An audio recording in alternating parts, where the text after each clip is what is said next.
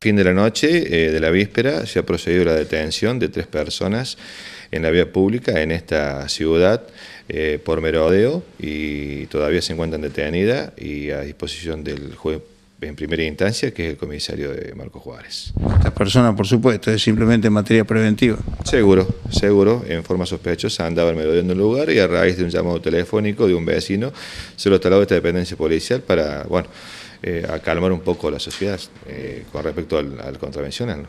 ¿Qué más tenemos de importancia?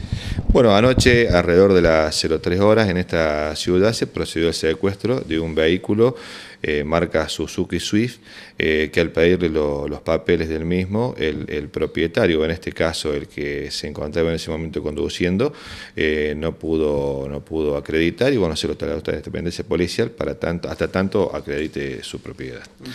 Alrededor de las 3.30 se procede también eh, al secuestro de un vehículo, marca C3, en la localidad vecina de Enribici.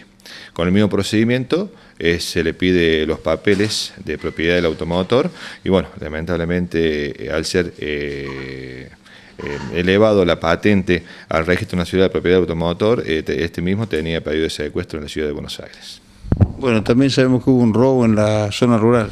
Sí, el día 19 se inician actuaciones, eh, actuaciones judiciales eh, a raíz de un robo eh, producido al noroeste de esta ciudad, a unos 7 kilómetros, en un predio donde es propietario el señor Bodelo de esta localidad, Luis Antonio, donde le habrían sustraído una, una discúlpame, sí.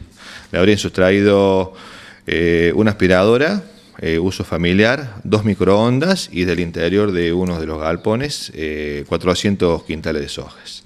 En su momento no se ha podido dar la información ya que se contaba con pistas firmes y para no entorpecer la misma, y bueno, se las da ahora.